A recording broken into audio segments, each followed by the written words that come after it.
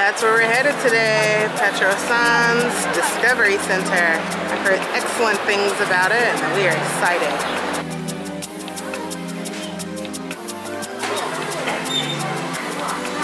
They have these great lockers for you to keep your stuff. We just usually have a diaper bag, but it's nice to just have a locker to keep all your stuff in. So your visit to the Time Center actually starts off as a ride. I mean, how cool is that?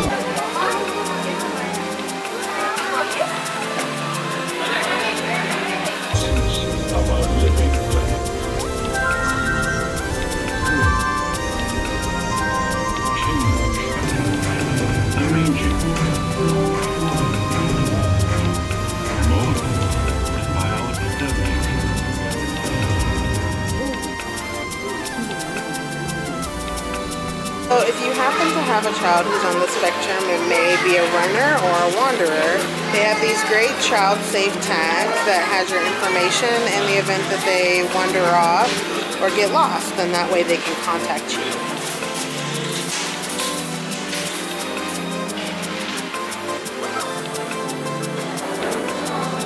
Thank you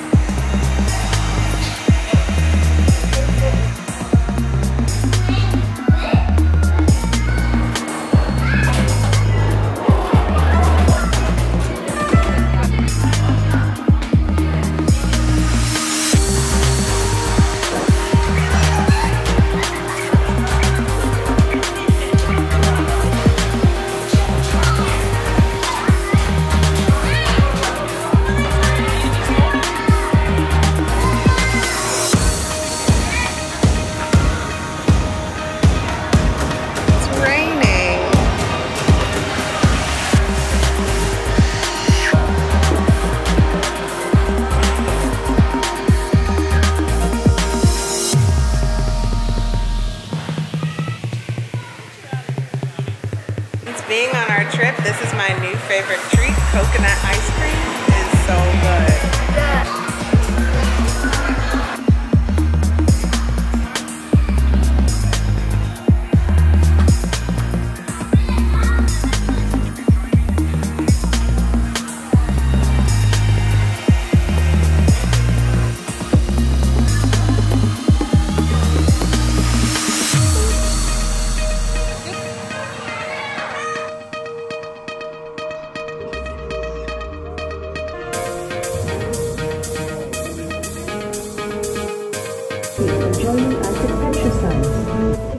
Just leaving and it was just as amazing as everyone said it was going to be.